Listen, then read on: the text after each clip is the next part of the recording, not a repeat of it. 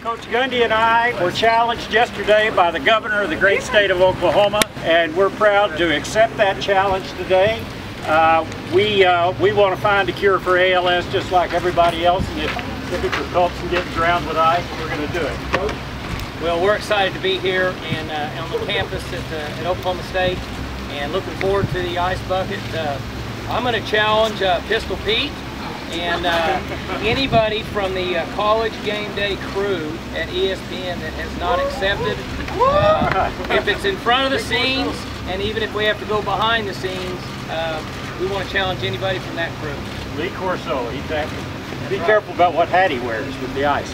Uh, okay, well we're gonna we're gonna do this now. I'm gonna challenge a couple of uh, groups, one group and one person. The person is Stan Clark, Eskimo Joe.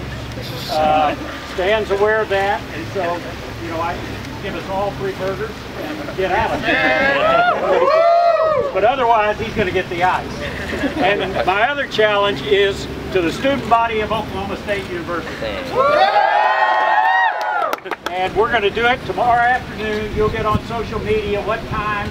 Uh, it'll be 100 degrees, so it'll feel great. So we hope the whole student body uh, uh, shows up. So are you ready? Ready to go. okay You've already had this happen before. I'm kind of, I'm kind of prepped. Fiesta Bowl and Kind of that. prepped. Yeah, I know. I'm ready to go. Okay, here we go. I guess I don't need this. Which, yeah, which way are we facing? You're facing out. Facing out. We're supposed to sit? I think it's better. All right, Shock okay. after that. Yeah, you, you know about. Let's, uh, So, let's count it down. Five, four, three, two, one.